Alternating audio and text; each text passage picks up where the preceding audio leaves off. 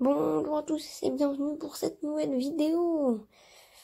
Il y a peu, j'ai vu ceci, cet article-là.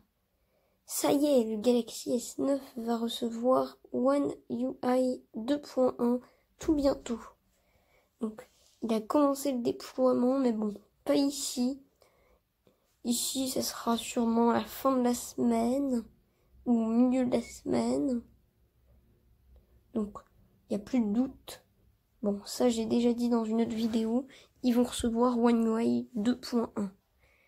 Et du coup, bon, il y aura Quick Share comme nouvelle fonction, Music Share, Hyperlapse, Nuit, Single Take, et même le mode pro en vidéo.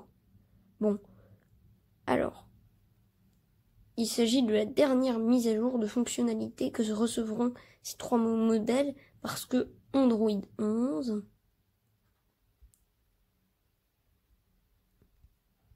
ne va pas être reçu étant donné que généralement Samsung fait que deux mises à jour logicielles.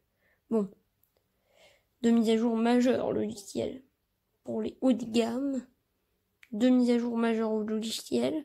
Pour les milieux de gamme, c'est deux mises à jour majeures logiciel. Et pour les entrées de gamme, c'est une ou deux mises à jour majeures logicielles. Les Galaxy J4, J6 ont reçu One UI 2.0. Euh, le J4 non. Mais le J6 oui. Mais ils ne recevront pas One UI 2.1 je pense.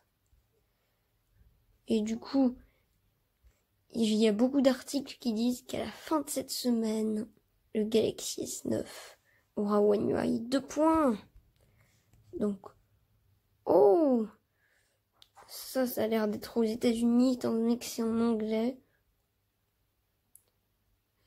Je pense que c'est aux États-Unis. Aux États-Unis, ils ont commencé.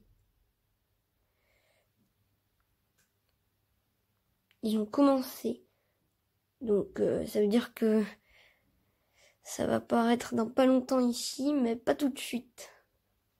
Pour l'instant, c'est disponible qu'en Allemagne et en Corée du Sud et maintenant apparemment aux États-Unis. Bon, bah, je vais bientôt pouvoir vous présenter la vidéo de, de cette mise à jour sur euh, enregistreur d'écran et je vais pouvoir vous présenter les nouveautés, tout ça. En vous souhaitant une bonne journée, eh bien au revoir